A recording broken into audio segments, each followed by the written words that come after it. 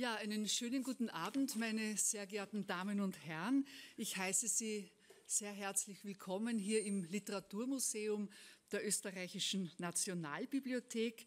Es ist ein sehr schöner Anlass, der uns zusammenführt. Wir präsentieren Ihnen heute in einer Kooperation mit dem Heimon Verlag, mit der Wittgenstein-Initiative und der Österreichischen Nationalbibliothek eine über 370 Briefe umfassende Edition der Korrespondenz zwischen Ludwig Wittgenstein und Ben Richards.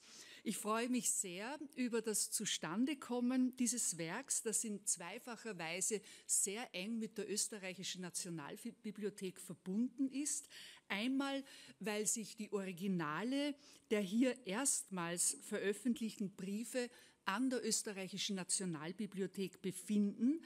Ein Teil davon schon seit 1995. Er blieb aber auch auf Wunsch der Witwe von Ben Richards bis 2020 für die Öffentlichkeit gesperrt. Und den zweiten Teil der Korrespondenz konnten wir auch dank der Initiative des früheren Direktors unserer Sammlung von Handschriften und alten Drucken, Dr. Andreas Fingernagel, der heute auch hier ist, eben 2021 käuflich erwerben. Eine weitere Verbindung ergibt sich durch die Person des Herausgebers. Dr. Alfred Schmidt ist seit vielen Jahren, länger, viel länger als ich, äh, schon an der Generaldirektion als wissenschaftlicher Assistent und er hat sich sehr intensiv jahrelang auch privat mit Ludwig Wittgenstein beschäftigt und man kann sagen, er ist ein echter Experte, ein echter Wittgenstein-Experte. Die Korrespondenz ähm, äh, Wittgenstein-Richards ist nicht nur äh, der quantitativ größte Briefwechsel, den wir von Wittgenstein überhaupt kennen. Er ist wohl auch einer der persönlichsten und berührendsten. Das habe ich mir sagen lassen, weil ich habe noch nicht hineingelesen. Äh, die Briefe geben uns äh, detaillierte Einblicke in Wittgensteins letzte sechs Lebensjahre, die bestimmt waren von einer konzentrierten Fortsetzung seiner philosophischen Arbeit und auch von seinen längeren Aufenthalten in Irland, in den USA und auch von seinen Besuchen bei seiner Familie in Wien. Vor allem aber dokumentieren die Briefe Wittgensteins eine leidenschaftliche und eine emotionale Beziehung zu dem um 35 Jahre jüngeren Medizinstudenten, der seine letzten Lebensjahre wesentlich bestimmte. Erlauben Sie mir auch abschließend noch darauf hinzuweisen, dass Ludwig Wittgensteins gesamter philosophischer Nachlass 2017 auf die UNESCO-Liste des Weltdokumentenerbes aufgenommen wurde und die österreichische Nationalbibliothek verwahrt einen wesentlichen Teil davon, darunter auch ganz zentrale Manuskripte bzw. Typoskripte zu seinen beiden Hauptwerken, dem Tractatus Logicus Philosophicus und den philosophischen Untersuchungen. Und der größte Teil des Nachlasses befindet sich heute in Wittgensteins zweiter Heimat in England im Trinity College in Cambridge. Äh, ich meine, es ist wichtig, dass ein Teil äh, des Erbes Wittgensteins auch hier in seiner Geburtsstadt in Wien bewahrt wird und dass Österreich sich auf diese Weise auch zu einem seiner bedeutendsten Intellektuellen bekennt. Seine Wirkung als einer der wichtigsten Philosophen des 20. Jahrhunderts ist ja bis heute äh, über 70 Jahre nach seinem Tod ungebrochen. Ich gratuliere dem Heimon Verlag sehr herzlich zu dieser verlegerischen Leistung. Ich bedanke mich bei der Wittgenstein-Initiative für die Unterstützung und darf in diesem Zusammenhang auch sehr herzlich Frau Dr. Radmila Schweizer begrüßen, die dann auch noch am Podium sein wird. Herzlich willkommen. Und ganz besonders bedanke ich mich beim Herausgeber äh, Dr. Alfred Schmidt für sein großartiges Engagement und für diese großartige Leistung. Wirklich herzliche Gratulation auch Ihnen. Ich danke Ihnen allen fürs Kommen und wünsche Ihnen einen interessanten Abend. Danke.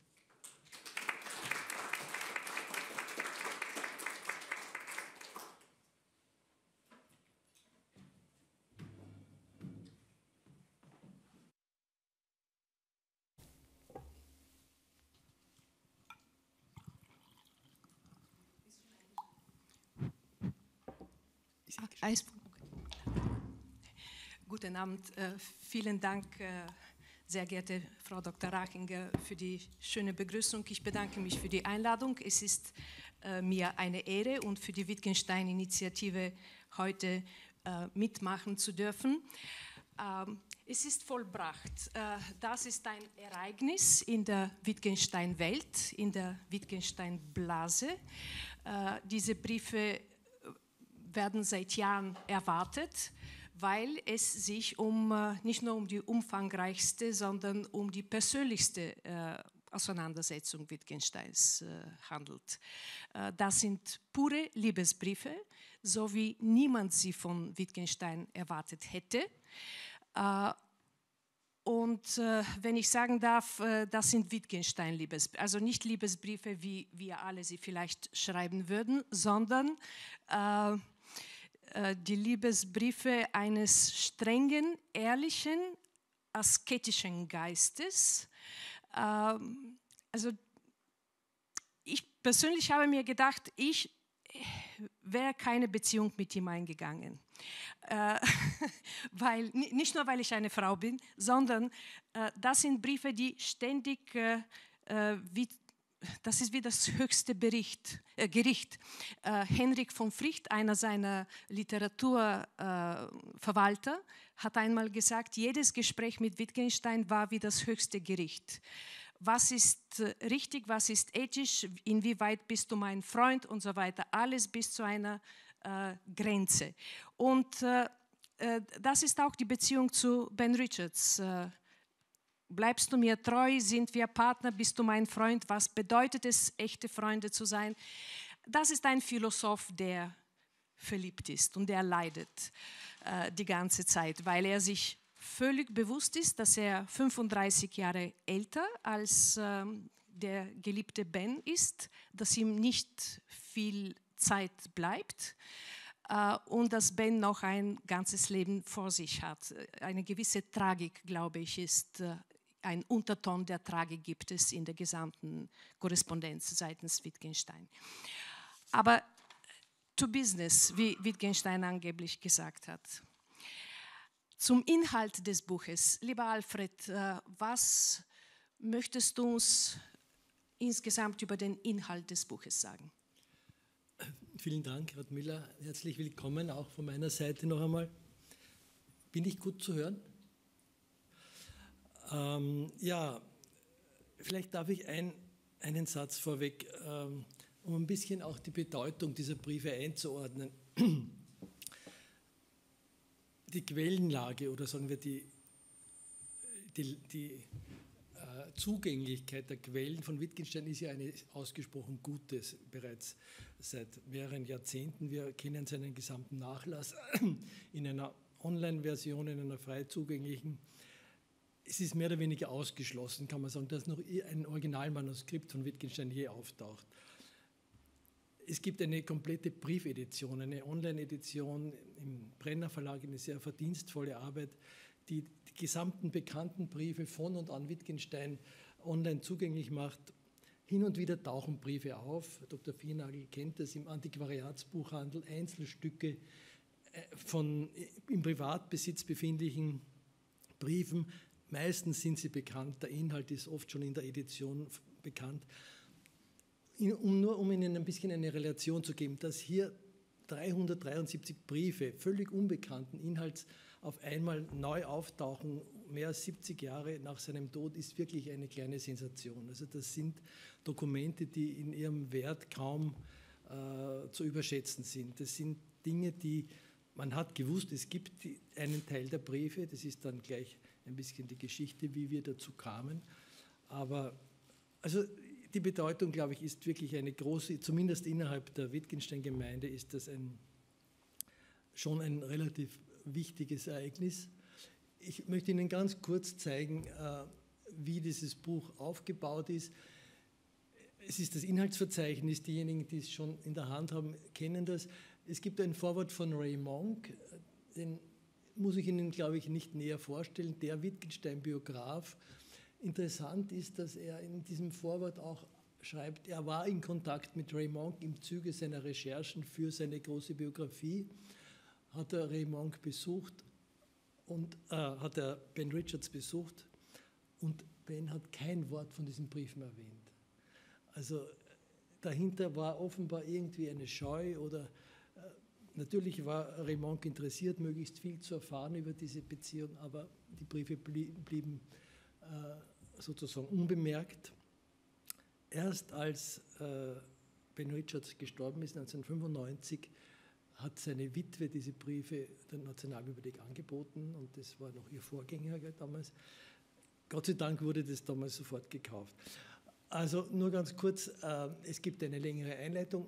Die Briefe selber sind dann angeordnet nach Lebensperioden von Wittgenstein, also markante äh, Wechsel in seinem Aufenthaltsorten meistens. Es ist die erste Zeit, wo er noch in Cambridge unterrichtet. Das sind die, seine letzten beiden Jahre bis 47. Die Urlaube verbringt er in dieser Zeit regelmäßig in Swansea. Also das ist auch ganz interessant. Er hat diese Gegend geliebt. Damals hat sowohl Sommer, Oster, Weihnachtsurlaube, er war immer in Swansea. Wittgenstein legt seine Professur nieder, Ende 1947 freiwillig. Also er meint, er kann nicht äh, philosophisch wirklich produktiv sein, solange er diese Professur hat. Er zieht sich nach Irland zurück. Es folgt diese längere Periode in Irland, dauert äh, ja, fast zwei Jahre, mit Unterbrechungen natürlich, übrigens Unterbrechungen immer wieder Wien-Besuche. Er besucht regelmäßig seine Familie in Wien, meistens im September. Eine sehr produktive Zeit, also was seine Manuskripte anbetrifft. Er kommt dann äh, 49 gibt es diese längere Episode, also drei Monate etwa, wo er Norman Malcolm besucht in in USA, in Ithaca an der Cornell University unterrichtet Malcolm, also einer seiner Schüler. Ein eher kurzer Abschnitt. Wittgenstein kehrt zurück und in dieser Zeit wird die Diagnose Krebs gestellt. Er, er war vorher schon also schwer, hat einige Symptome, äh, ernste Symptome gehabt, aber man hat erst bei seiner Rückkehr dann herausgefunden, es ist Prostatakrebs. Also das ist dann die Zeit, er wohnt bei von Wright, einige Monate, übersiedelt dann zu, zu Elisabeth Enscombe nach Oxford äh, vom April 1950 an, hauptsächlich weil ihm das Haus von, von Wright zu laut ist. Er hat zwei Kinder, die ihm immer wieder stören, schreibt er. Also er probiert es bei Elisabeth Enscombe. Es ist dieser Abschnitt der vorletzte und der, die allerletzten Monate dann eben seine, sein Aufenthalt bei seinem Arzt, sein Hausarzt in Cambridge, der ihm angeboten hat, er kann bis zum Tod bei ihm bleiben. Das sind die letzten Monate, die, wo noch einmal ganz äh, interessante Manuskripte entstehen.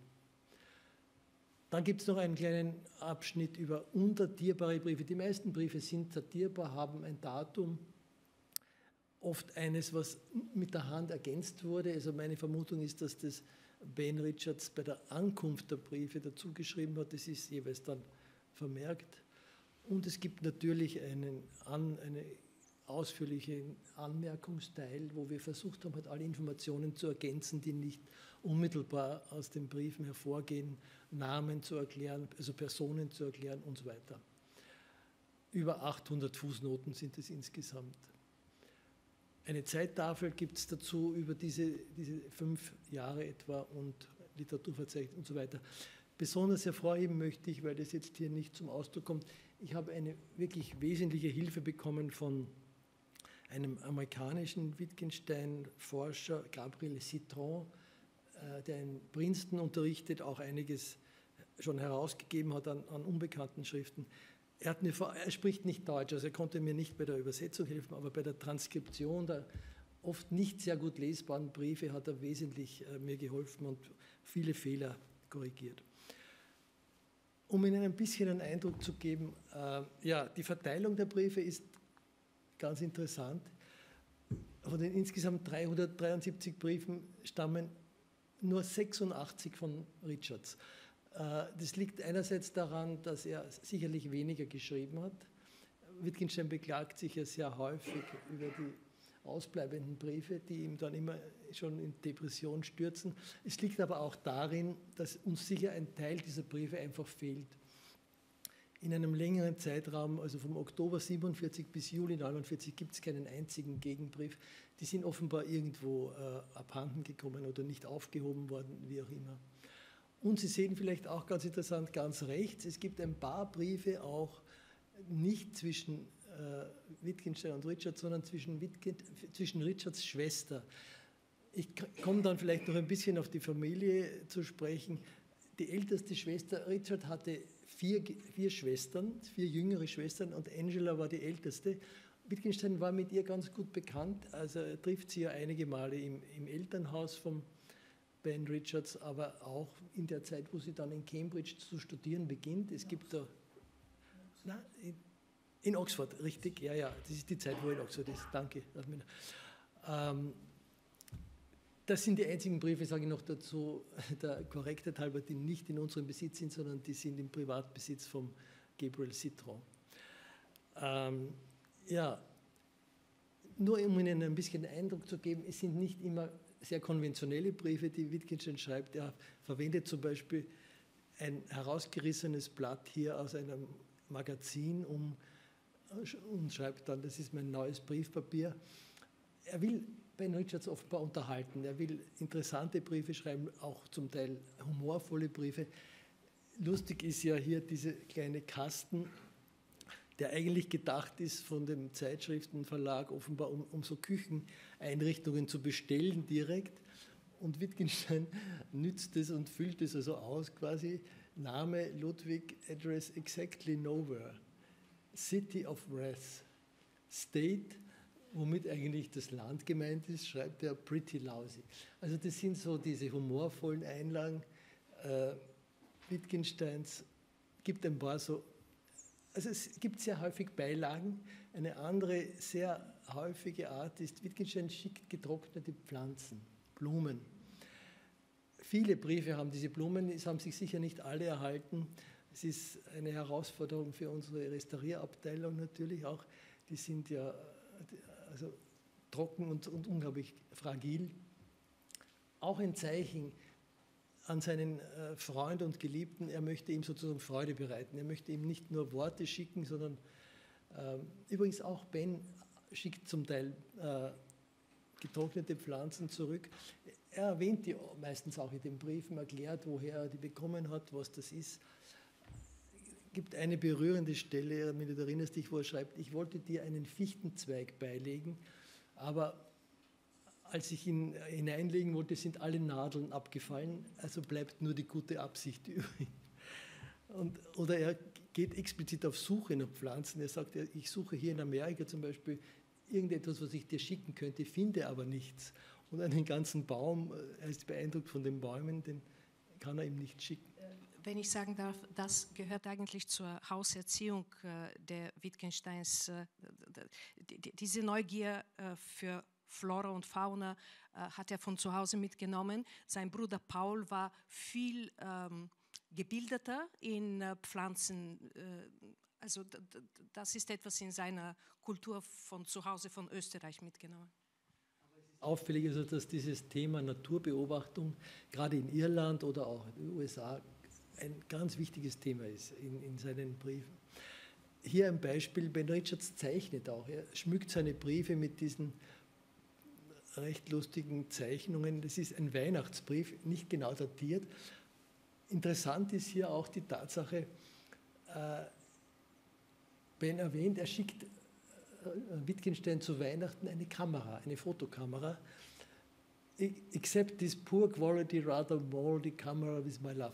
Wittgenstein war begeistert äh, für Fotografie interessiert. Vielleicht erinnern Sie sich, es war im Leopold-Museum diese Ausstellung äh, Fotografie als analytische Praxis, glaube ich, hieß es, wo genau dieses Thema untersucht wurde. Also Wittgenstein hat selber begeistert fotografiert, offenbar mit dieser Kamera auch sofort begonnen, Bilder zu machen, zum Beispiel von seiner Umgebung, von den äh, Haus, äh, von den Gastgebern, wo er untergebracht war, in, in Swansea etwa, sind Bilder erhalten geblieben aus der Zeit.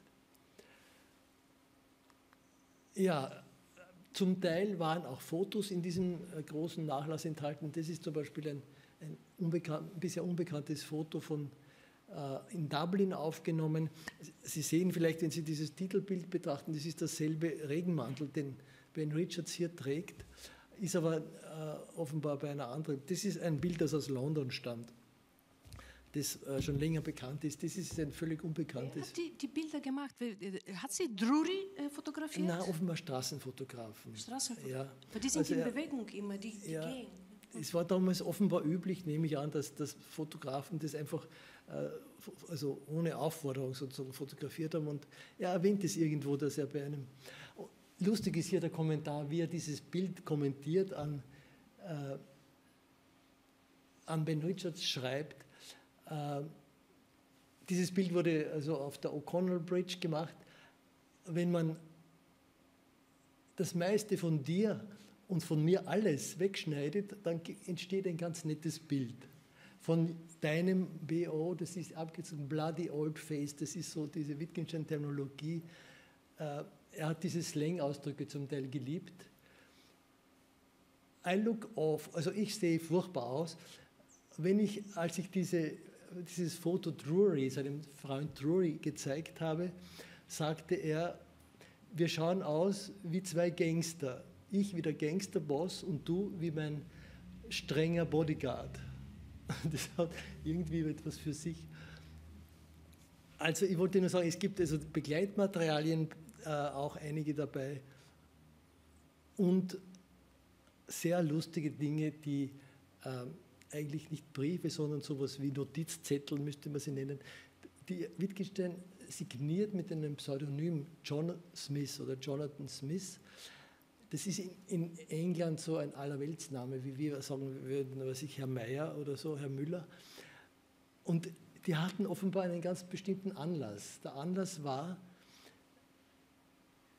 Ben besucht Wittgenstein oft in Cambridge, also sie besuchen sich wechselseitig. Wittgenstein kommt nach London. In der Zeit absolviert Ben seine praktische Spitalsausbildung am St. Bartholomew's Hospital. Wittgenstein ist offenbar noch mit Toilette beschäftigt und schreibt ihm, äh, also er gibt sich quasi als sein eigener Diener oder Adjutant aus. Professor Wittgenstein has, a, has had an urgent call for the laboratories, vomitories and baths. Also er hat einen dringenden Anruf zu, zur Toilette bekommen. Er bedauert sehr, dass er nicht in der Lage ist, äh, bei, ihrer, bei ihrer Ankunft sie zu empfangen und, äh, und hofft, dass, es, äh, dass, dass, es ganz, dass er es ganz bequem haben wird bei seiner, äh, in seiner Abwesenheit, vielleicht sogar mehr als in seiner Anwesenheit. Also es gibt drei solcher sehr kuriose Karten, wo er nur sozusagen ihn als Begrüßung den Zettel offenbar hinlegt und äh, selber noch beschäftigt ist. Darf ich nur äh, etwas ganz kurz sagen? Diese Zeitungsausschnitte und äh, beiliegenden, beiliegenden Karten sind typisch für die, äh, für die Korrespondenz mit anderen Personen, äh, zum Beispiel mit seinem Bruder Paul.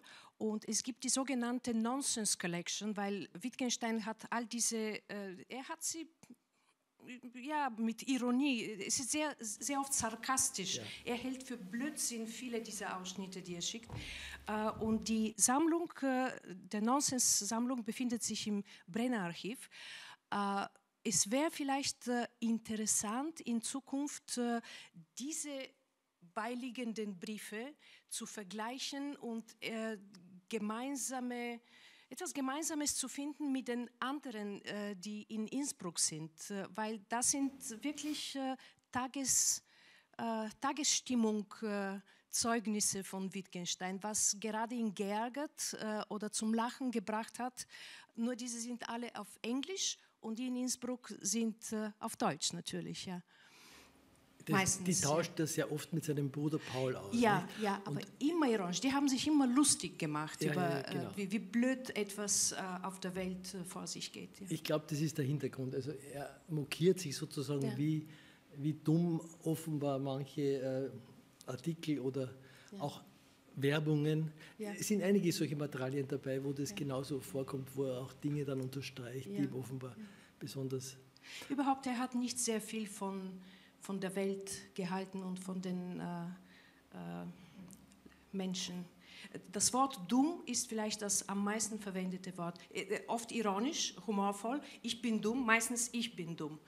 Ich kann nicht arbeiten, meine Arbeit ist dumm, aber sehr oft der ist dumm, die Situation ist dumm. Deswegen habe ich gefragt, welches englische Wort er verwendet, ob stupid oder silly. Das, äh, das ist äh, interessant. Ja. Ich bin jetzt gar nicht ganz sicher, aber vielleicht ist das eine gute Gelegenheit, auch natürlich darauf zu verweisen, es ist natürlich auch eine Ausgabe der Originalbriefe vorgesehen, eine rein englische Ausgabe. Wir wollten ursprünglich eine zweisprachige Ausgabe mit dem Text in Originalsprache Englisch und Deutsch gegenübergestellt. Der Heimann Verlag hat dann sehr spät äh, bekannt gegeben, es wird ihm das zu umfangreich. Das Buch ist quasi schon äh, angekündigt mit einem bestimmten Preis, auch in sehr günstigen Preis, muss man sagen, erstaunlich günstigen.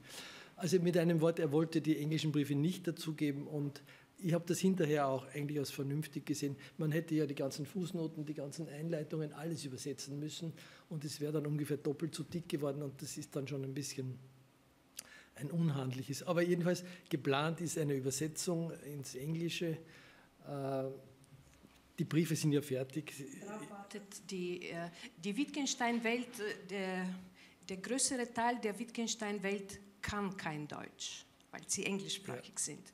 Das ist Problem nicht nur bei, bei diesen Briefen, die jetzt viele nicht verstehen können, aber Wittgenstein hat alles auf Deutsch geschrieben. Deswegen, wer sich als Wittgenstein-Experte vorgibt in England oder Amerika, sollte mindestens Deutsch können, um die Philosophie lesen zu können. Ja, stimme ich okay. absolut zu. Der ganze Nachlass ist für nicht deutschsprachige Es ist eine so poetische Sprache, es, es ist, nicht irgendeine.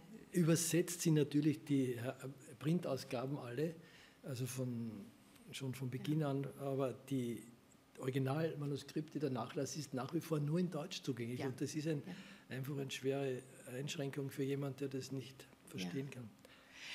kann. Ähm, Ganz kurz, weil wir noch so viel äh, Interessantes zu besprechen haben. Äh, wie kamen die Briefe äh, an die Nationalbibliothek? Ja. Äh, ungefähr wurde schon das angedeutet. schon gesagt. Für mich ist eine interessante Frage, wieso wurden sie nach Wien angeboten? Und darf ich eine, ähm, ähm, eine These meinerseits, äh, weil die Witwe von Ben Richards äh, versteht, dass die Briefe sehr viel wert sind Wieso bittet sie sie nach Wien an? Weil sie, glaube ich, nicht möchte, diese so intime Be Beziehung äh, in ihrem eigenen Land bekannt zu haben. Äh, ben Richards hat sie geheiratet, war, hat dann ein sehr ganz, äh, wie ist politisch korrekt heute zu sagen, nicht normales, sondern ein heterosexuelles Leben geführt.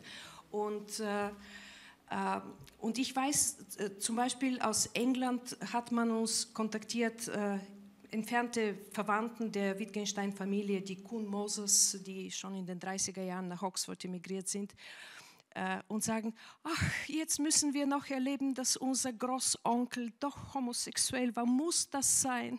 Also noch heute sind solche Leute. Und können Sie sich vorstellen, was die Witwe des Partners von Ludwig Wittgenstein.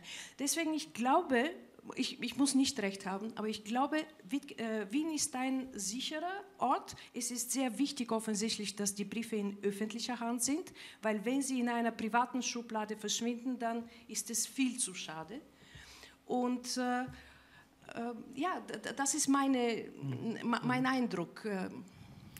Also ich, von den Fakten her, ich weiß nur so viel, sofort nach Ben Richards Tod wurden diese Briefe äh, von, der, von Tara Richards, von seiner Witwe, angeboten. Äh, damals gab es auch eine Vermittlung von Michael Nedo, das ist irgendwie bekannt. Ähm, warum er auf uns verfallen ist, weiß ich nicht. Also ich denke, dass Nedo der Haupt, die Hauptverantwortlich äh, ist, dass es uns angeboten wurde. Es ist auch aus meiner Sicht sehr wahrscheinlich, dass Ben Richards diese Briefe noch vorbereitet hat. Da gab es genaue Listen. Und jetzt kommt das Rätselhafte, er sucht 150 Briefe aus. Wir wussten natürlich damals nicht, dass es noch mehr gibt, aber Die Nationalbibliothek hat also diese ziemlich hohen damals Kaufpreis bezahlt, obwohl die Auflage, also testamentarische Auflage von Ben Richards selber, bis 2020 die Briefe unter Verschluss zu halten. Ähm, okay, offenbar eine gewisse Sorge, dass da private Inhalte drinnen stehen. Wenn man das Buch kennt, also kann man sich eigentlich nicht wirklich vorstellen, was da die Ängste waren. Es, es gibt also sicher keine kompromittierenden in irgendeiner Weise Inhalte. Aber natürlich, wie du sagst, die generelle äh, Akzeptanz, Wittgenstein sich eher zu Männern hingezogen fühlt, er hatte ja auch Beziehung zu Frauen, also es ist ja nicht so eindeutig. Ähm, das hat sich erst durchsetzen müssen. Das ist, glaube ich, nach der Biografie von Raymond so ziemlich dieses Thema entschärft worden. Vorher war es wirklich ein Tabuthema und also wir brauchen das, glaube ich, nicht mehr anzusprechen, wer da alle dahinter ist. Aber noch, der interessante Punkt ist jetzt, also diese Briefe waren bei uns, es war bekannt, sie sind gesperrt. Ich habe quasi darauf gewartet schon. Dr. Fingernagel hat mir auch ein bisschen früher schon den Zugang gewährt, um, um die Edition vor, vorzubereiten es war nahezu fertig, die Edition dieser 150 dieses ersten Teiles. Ich bin dann in Kontakt gewesen mit Miranda Richards, also der Tochter, der einzigen Tochter von Richard, und, also Tara und, und Ben Richards. Und dann schreibt sie mir in so einer E-Mail nebenbei, übrigens, es gibt noch einige Briefe mehr bei mir zu Hause. Hat niemand gewusst natürlich. Und es stellt sich heraus, dass es also äh, der ganze Rest der Briefe, über 250 Briefe noch und eben auch die Briefe ihres Vaters an Wittgenstein sich noch in ihrem Privatbesitz gefunden, befunden haben. Das war 2021 erst.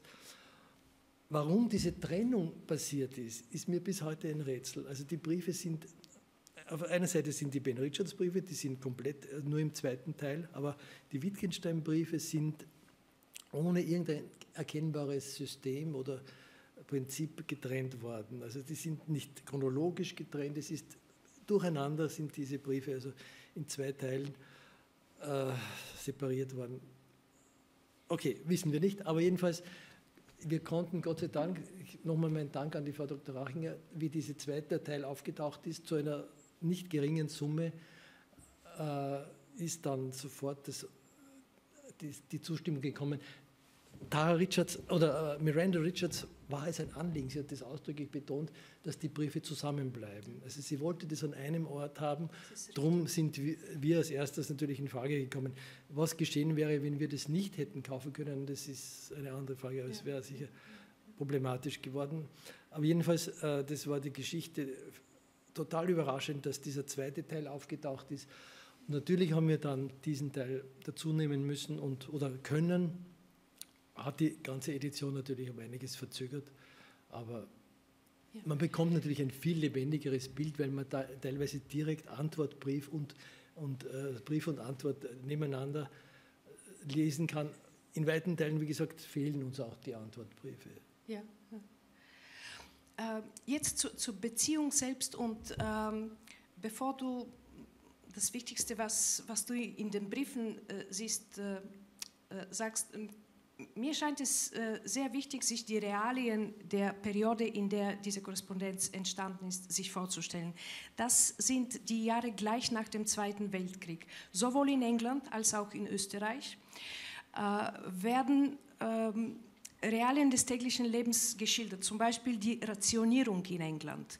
Äh, die Rationierung in England hat bis zum Jahr 53, bis zur Krönung der Königin gedauert und es gibt eine Erwähnung von Rationierung von Speck. Ludwig hat Ben sein äh, Rationsspeck äh, gegeben und das, äh, und das hat sogar noch länger gedauert. Also England ist ein äh, verschuldetes, völlig verarmtes Land nach dem Zweiten Weltkrieg, obwohl äh, den Krieg gewonnen.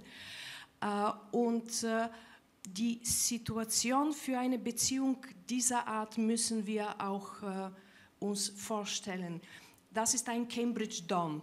In Cambridge und äh, auch in, äh, in den äh, Kreisen, wo Ben Richards äh, verkehrt hat oder seine Familie nahe an, an die Bloomsbury-Gruppe, ist äh, äh, Homosexualität keine Ausnahme, eher die Regel eigentlich. und es gibt keine Vorurteile. Allerdings, das Gesetz in England ist sehr streng, genau in dieser Zeit. Alan Turing, einer mindestens genauso genial, sehr berühmter und ein Kriegsheld nach, der Enigma, nach dem Enigma-Projekt, wird verfolgt. Kurz, das ist ein paar Jahre später, das ist äh, 53, ja, aber spielt ja. keine Rolle. Also es besteht das Gesetz äh, äh, gegen Gross Indecency oder grobe Unanständigkeit besteht in England bis zum Jahr 67. In Österreich wird, äh, werden solche Gesetze ein bisschen früher abgeschafft. Zu der Zeit ist in Österreich, glaube ich, offene Homosexualität auch illegal, ja. aber nicht aber so. Bei Jugendlichen. Äh, vielleicht, ja. Aber in England, also wenn jemand wie Alan Turing äh, durch äh, Spritzen, durch, durch Hormonspritzen und äh, Freiheitsbegrenzung bestraft wird, dass er sich mit einem Mann in einem Zimmer allein aufgehalten hat.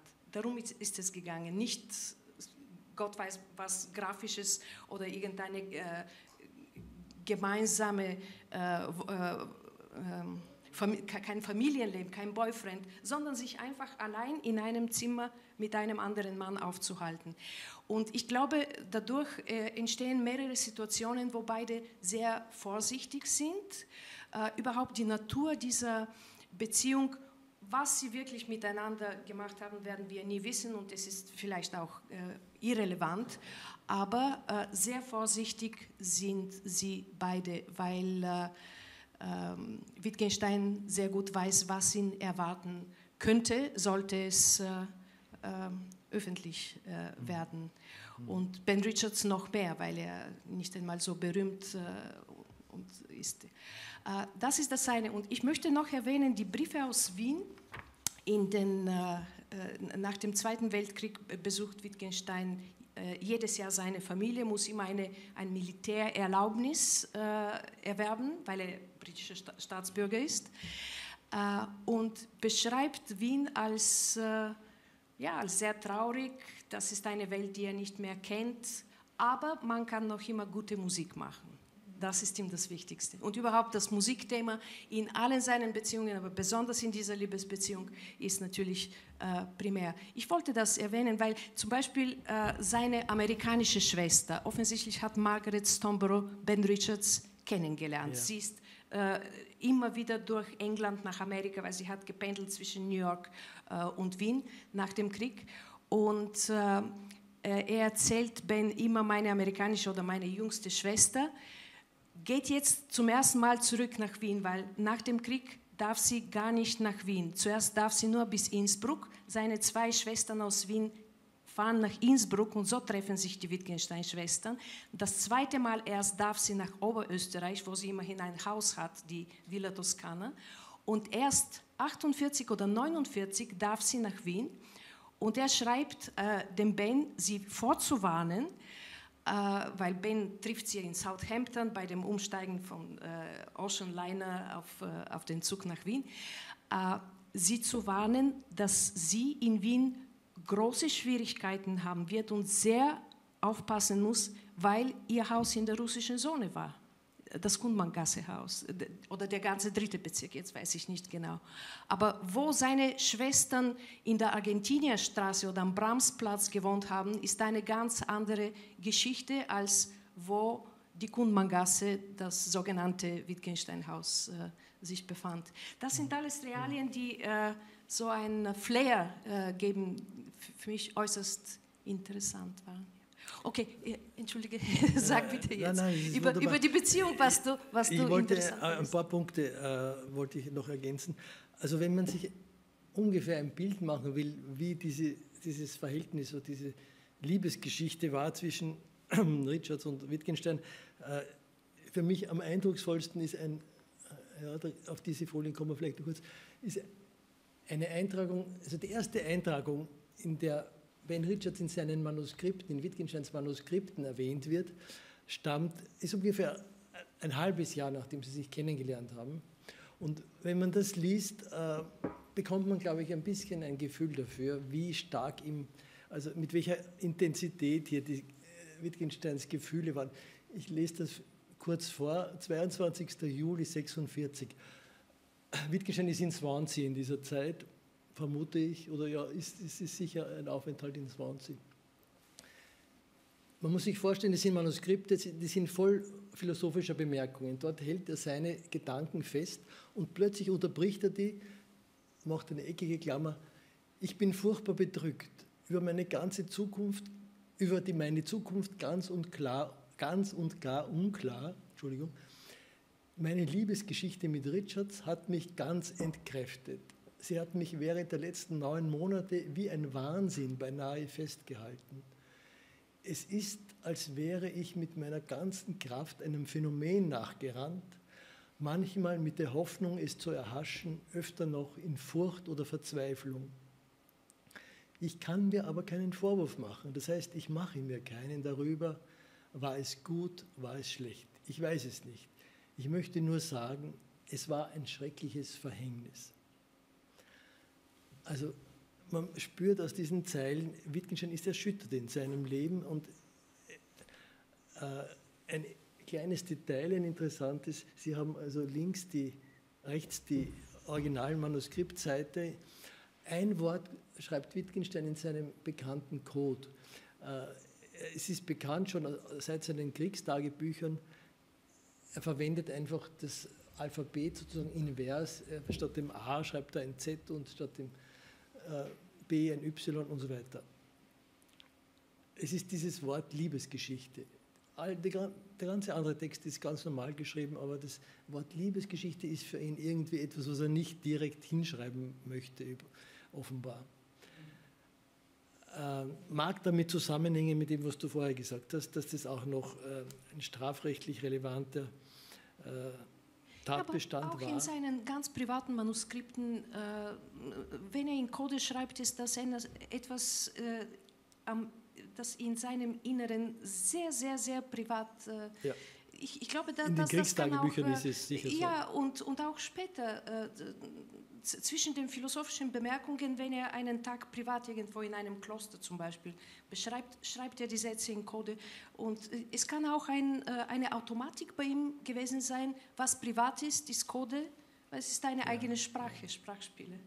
Äh, Aber offenbar hat er das so beherrscht, also, dass er das ohne Schwierigkeiten hinschreiben konnte, also ohne besondere ja. Hilfsmittel. Ähm, also man kann sich ein bisschen ein Bild machen. Für Wittgenstein war es sowas, er verwendet dann ganz ähnliche Ausdrücke wieder, wie ein, ein, ein Fatalismus sozusagen, der ihn in diese Beziehung geführt haben. Ich lese Ihnen noch einen kurzen Abschnitt aus einem Eintragung auch vom Oktober 46.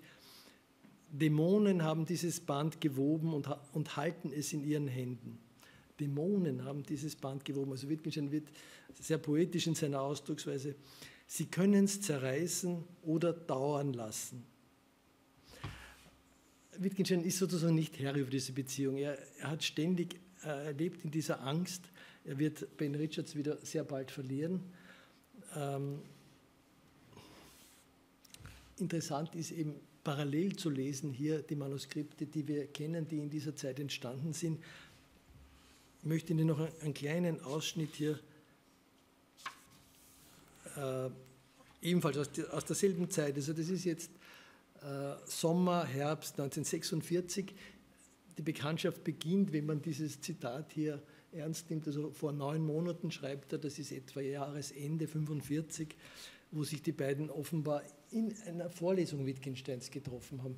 Es geht aus dem Lebenslauf von Ben Richards hervor, dass er auch äh, philosophische Vorlesungen besucht hat, Zeit, in dieser Zeit und ist offenbar zufällig auf Wittgenstein gestoßen, damals in Cambridge. Und äh, das war der Anstoß oder der Beginn dieser Beziehung. Also noch ein kurzer Ausschnitt äh, aus einem Manuskript 19, vom November 46. Ich habe nicht den Mut und nicht die Kraft und Klarheit, den Tatsachen meines Lebens gerade ins, ins Gesicht zu schauen. Ben hat zu mir eine Vorliebe, etwas, das nicht halten kann. Wie diese verwelken wird, weiß ich natürlich nicht. Wie etwas von ihr zu erhalten wäre, lebendig, nicht gepresst in einem Buch als Andenken, weiß ich auch nicht. Es ist unendlich unwahrscheinlich, dass diese Liebe, wenn sie von einer anderen oder anderen Umständen gedrängt wird, dann noch Zähigkeit genug haben wird, nicht zu reißen. Das ist nun eine furchtbare Schwierigkeit meines Lebens. Ich weiß nicht, ob und wie ich es aushalten werde, dieses Verhältnis mit dieser Aussicht weiter zu nähern. Es abzubrechen aber habe ich nicht die Klarheit und nicht die Kraft.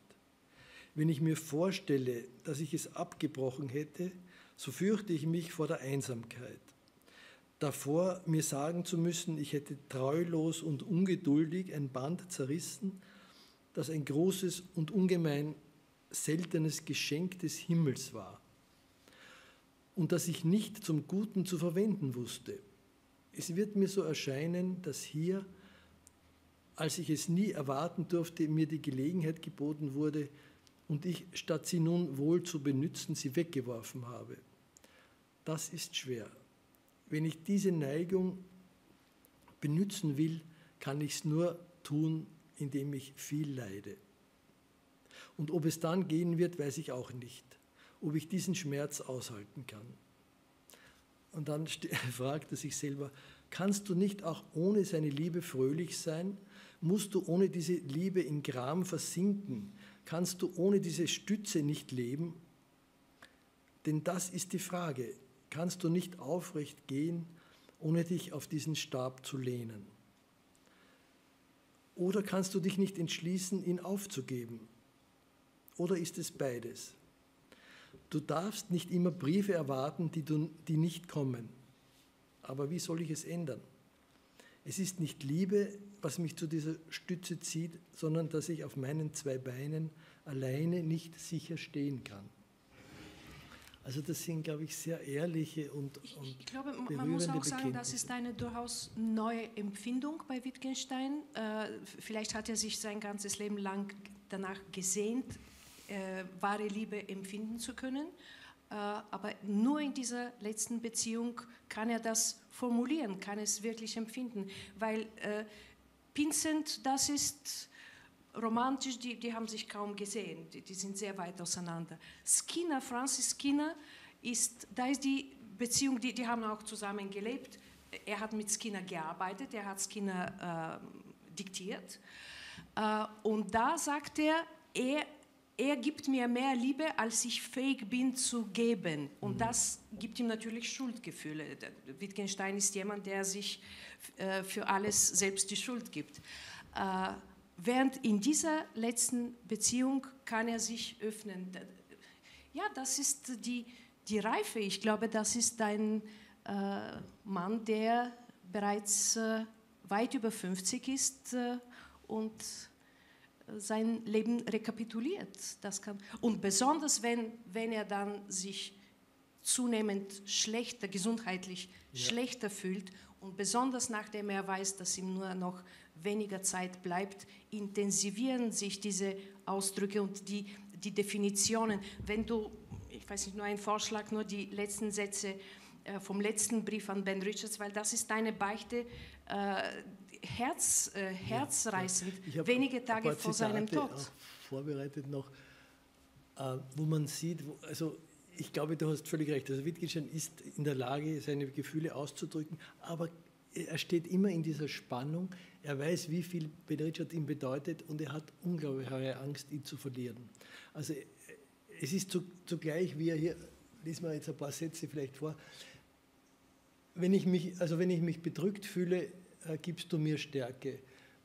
Deine Briefe sind äh, Nahrung und, und Getränk oder Trank für, für eine ganze Woche und das ist keine Übertreibung. Oft denke ich, wenn es nicht wegen dir wäre, könnte ich hier gar nicht existieren oder sein. Also er schreibt es aus, der, aus seiner irischen Zeit, wo er sich in Rossroh ja in eine Hütte, in eine völlig einsame Gegend zurückgezogen hat. Oder also in diesem Ton, der durchzieht diese Briefe generell. If I could see you, that could give me some strength for strength for in many years. My only happy hours were connected in some way with you. Und ich glaube, das ist das Zitat, was du gemeint hast. You have given me happiness and joy, which I never deserved, and made my life different altogether from what it would have been without you. Thanks for all you did to me. You are the background of all my happiness. Also das, das sind, ist zwei Wochen vor seinem Tod. Das sind schon berührende äh, Eingeständnisse und die einfach zeigen, welche Bedeutung Ben in ja. seinem Leben gehabt hat. Ähm, Raymond vermutet ja, dass ja. diese letzte überlieferte Satz von Wittgenstein, sag Ihnen, ich habe ein wundervolles Leben gehabt, also das ist die, der Satz, den die Frau seines Hausarztes uns überliefert hat, in Zusammenhang steht mit dieser glücklichen Zeit, in die er mit Ben Richards Weil die ganze Wittgenstein-Community hat sich immer gefragt, wie kann jemand, der äh, aus einer Familie voller Selbstmorden kommt, äh, der zwei selber Welt sehr oft an Selbstmord dachte, sel sein ganzes selber, Leben. Äh, ja, praktisch äh, chronische Depression sein ganzes Leben lang.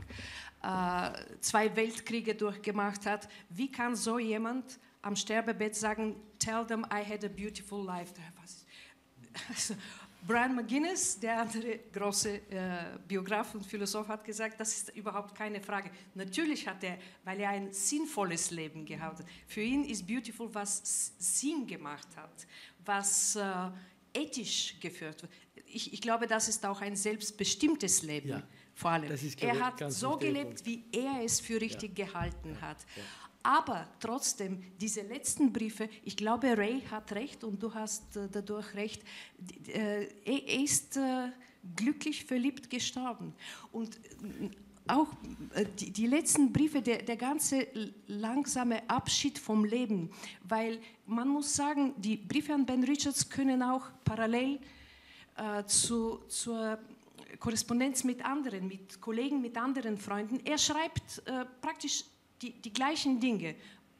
Übermorgen fahre ich nach New York oder übermorgen fahre ich nach London, ich habe das gekauft, ich habe das gegessen. Das schreibt er nicht nur Ben Richards, das schreibt er auch seinen Freunden. Bei Ben Richards ist nur die viel Liebe dabei. Das ist das Einzige. Äh, aber was er allen schreibt, ist ein langsamer Abschied und eine Erleichterung, dass, äh, dass der Tod kommt.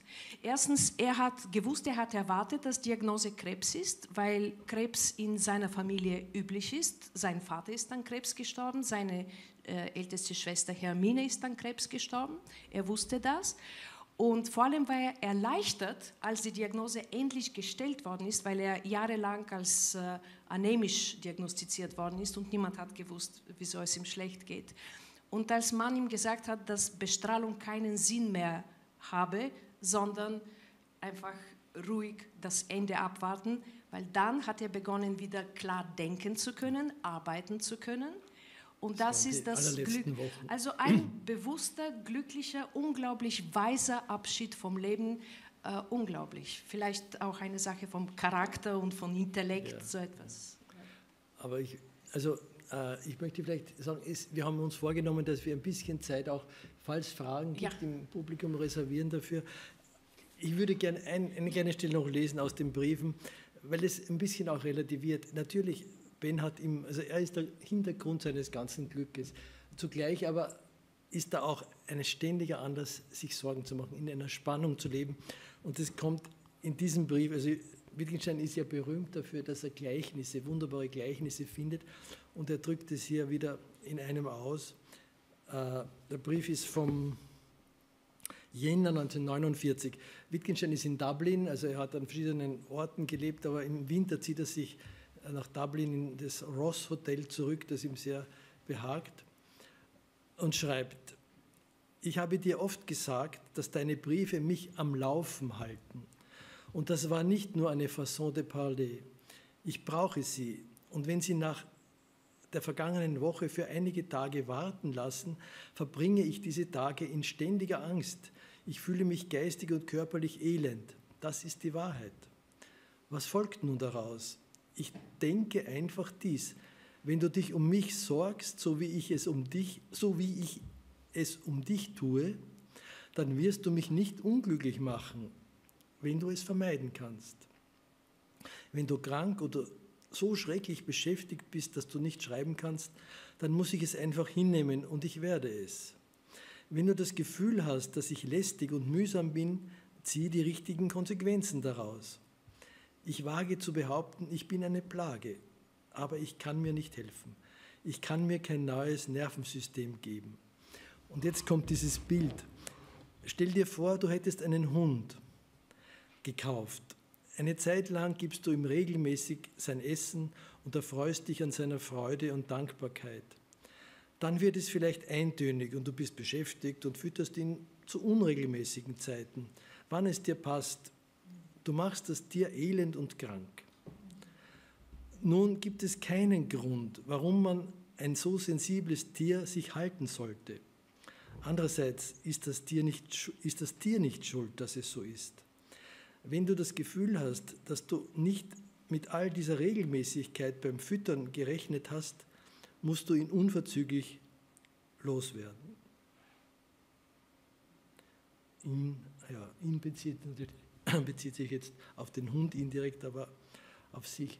Also das ist irgendwie ein sehr einprägsames Bild. Wittgenstein leidet auch. Also genauso wie er dieses Glück empfindet offenbar, leidet er, wenn er einige Tage keinen Brief bekommt und ähm, das ist so ein, er schreibt es auch einmal, er bekommt das eine nur, wenn er auch sozusagen das andere akzeptiert. Und er überlegt, diese Beziehung sozusagen von vornherein abzubrechen, weil, sie, weil er denkt, sie könnte ja mal enden, aber dazu ist er offenbar nicht in der Lage.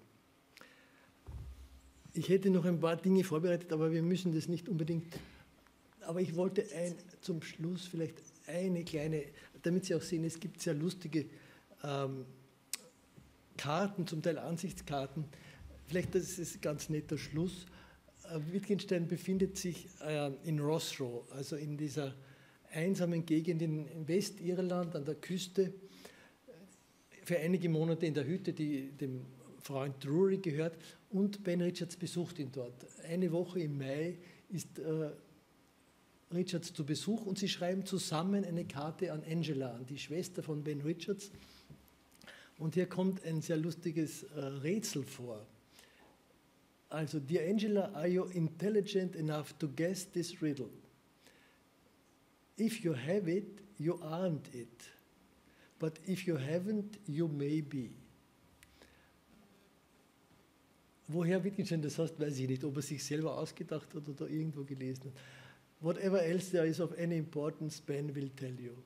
Und sie zeichnen dann, oder Ben wahrscheinlich zeichnet auch hier einige Tiere noch in diese äh, Küstenlandschaft. Der letzte Teil stammt von Ben Richards, schreibt dann seine Schwester, The sun shines all the time here, except at night. There are many more jellyfish than the photograph overleaf might lead you to suppose. Love from Benedict. Also das sind so ganz nette äh, kleine äh, witzige. Äh, Was Ansichtskarten anbelangt, äh, eine Ansichtskarte, die er aus Wien dem Ben schickt, ist äh, der Josefsplatz. Die ja. Nationalbibliothek ist von Wittgenstein in einem Brief beigelegt. Ist auch drinnen, ja. ja. ja er schickt ihm Eindrücke von Wien und eines davon ist äh, Michaelerplatz. Und, ja.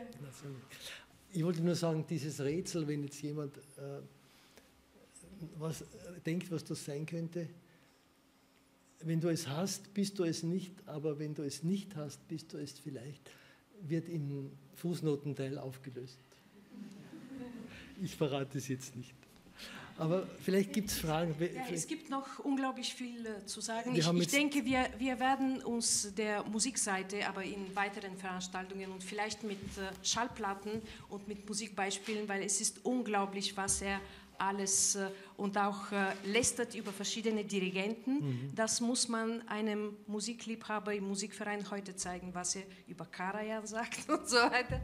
Also er hat wohl Meinungen. Und was wir leider ein bisschen übersprungen haben, das war der familiäre Hintergrund von Ben Richards. Ich habe da ein bisschen was vorbereitet, müssen wir aber nicht erwähnen, außer dass die Mutter von Ben Richards, Noel, das war die jüngste dieser vier Geschwister, einer sehr interessanten Familie, einer englischen äh, sozialistisch geprägten Familie entstammt. Das war der Großvater Sidney Oliver, der zum Baron befördert wurde und Kolonialbeamter. Ein sehr erfolgreicher Kolonialbeamter war, der zum späteren Zeitpunkt dann Gouverneur von Jamaika war. Die ganze Familie hat in Jamaika gelebt einige Jahre. Er wurde dann auch Minister für Indien und ins House of Lords aufgenommen. Also das ist so ein bisschen der, der Hintergrund. Und okay, Noel äh, war äh, das Objekt einer, schon als 15-Jährige hat sich Robert Brooke, der ein berühmter englischer Dichter war, in sie verliebt und es gibt eine ganze Reihe von Liebesbriefen, die dann später publiziert wurden. Ähm, also Noel war eine sehr schillernde Persönlichkeit. Äh, es gibt dieses Buch über, die, über diese Oliver Sisters. Übrigens, Sidney, äh, Lawrence Olivia ist ein Cousin von ihr gewesen, der Schauspieler. Ähm, was ich besonders also lustig finde, weil du vorher auch diese Bloomsbury-Kreis erwähnt hast und die Beziehungen dort. Robert Bruck war sowas wie ein, äh, ein Nationalheld. Er hat auch Kriegsgedichte geschrieben und er war berühmt wegen seiner Schönheit. Also Yates bezeichnet ihn als den schönsten Jüngling von England. Er hat sowohl Männer als auch Frauen angezogen. Er hat wiederum, war verliebt in, in Noel, hat ihr Liebesbriefe geschrieben, war allerdings als 16-Jährige. Hat, sie hat offenbar diese Liebe nicht sehr erwidert. Sie hat eine sehr enge Beziehung zu James Strachey, den Bruder von Lytton Strachey, also der Psychologe war und bekannt wurde durch die Übersetzung der kompletten Freud-Ausgabe. Strachey, also James Strachey war wiederum unsterblich verliebt in Brooke in Robert das habe ich mir gerade gedacht. Das, gibt auch einen großen Briefwechsel. Brooke war in Noel verliebt, aber Noel hat also äh, eine Beziehung ist, zu äh, James. Und äh, Rupert Brooke ist im Ersten Weltkrieg gefallen. Genau. Ja. Nicht im Krieg, das muss man auch dazu sagen, sondern an einem Gelsenstich gestorben. Aber er war sowas wie ein Nationalheld und ähm, vielleicht das letzte Detail. Noel äh, hat sich ihr ganzes Leben lang dagegen gewehrt, diesen Briefwechsel herauszugeben. Erst nach ihrem Tod, lange nach ihrem Tod, hat die Enkelin, die Tochter von Angela Piper Harris, hieß sie, heißt sie, äh, diese Briefe herausgegeben. Also mit einem Wort, diese Familie Olivia war im Cambridge der äh, Vorkriegs, also vor dem Ersten Weltkrieg eigentlich noch sehr gut etabliert und Interessant ist das Detail, dass ja auch Wittgenstein bei seinem ersten Cambridge-Aufenthalt genau in diesen Kreisen verkehrt hat, natürlich. Er war auch Mitglied der Apostel, war zwar angewidert meistens von dieser Gesellschaft, aber es ist durchaus möglich, dass er und Noel sich damals schon gesehen haben. Also es ist, oder dass er Robert Brooke zumindest zum Sehen kannte, halte ich eigentlich für sehr wahrscheinlich. Das, ist, das sind die englischen äh, Upper, äh, Upper Middle Class, nicht ganz die Upper Class, keine Aristokratie, aber die Gebildeten, äh, wie du gesagt hast, die sozialistischen, also ja. das ist ein Sozialismus der Fabian Society genau. noch. Die, die, Leute, die nach Cambridge gegangen sind, um zu studieren, die, die Leute, die das Geld hatten, zwei Monate Urlaub in Italien zu machen, zu, ja. zu, einer Zeit, wo niemand Urlaub im Ausland gemacht hat. Und Mitglied des House of Lords ist, aber ja. gleichzeitig Und, Sozialist. Ja, Governor of Jamaica, das ist äh, eine sehr hohe Position.